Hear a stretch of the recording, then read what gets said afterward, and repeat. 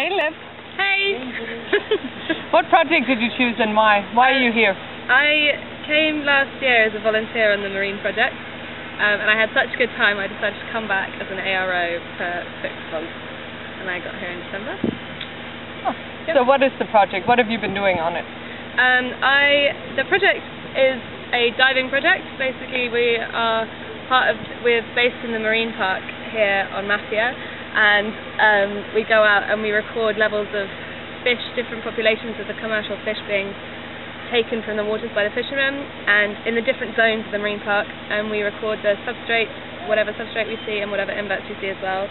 Um, the marine park's been running since 1989, and it was set up by Frontier, so it's really good that we're still here continuing that work for them.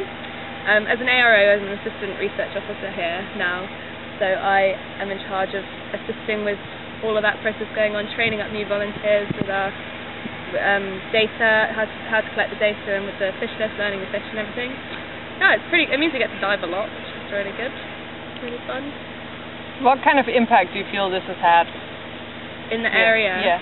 I think, um, I just, I think the project's really great because it's a very easy, um, it's a very easy data collection method. So anyone can come here for a couple of weeks, learn the data collection method, and then start um, collecting the data, and because the data's been collected for so long, it gives a really good impression of the fish levels and the, how the marine park has changed the area and how we've uh, we've seen the fish levels and the coral levels and everything going up so much over over the years. So I think that's the main impact that it's having is um, yeah, you can see you can see years and years worth of data. You can see how marine park is working.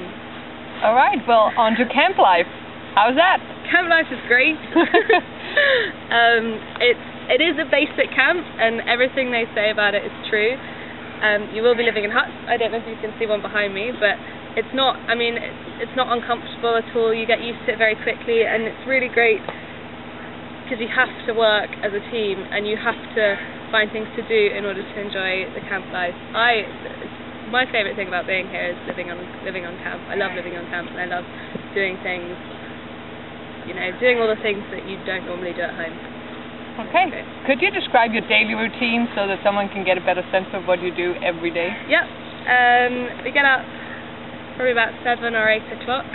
Normally woken up by either the moth call or the various farm animals we have around, um, which is a nice way to wake up in the morning. And then we have our breakfast and we get on with our activities. So if you're a diver, we'll go out diving on the boat or off the shore.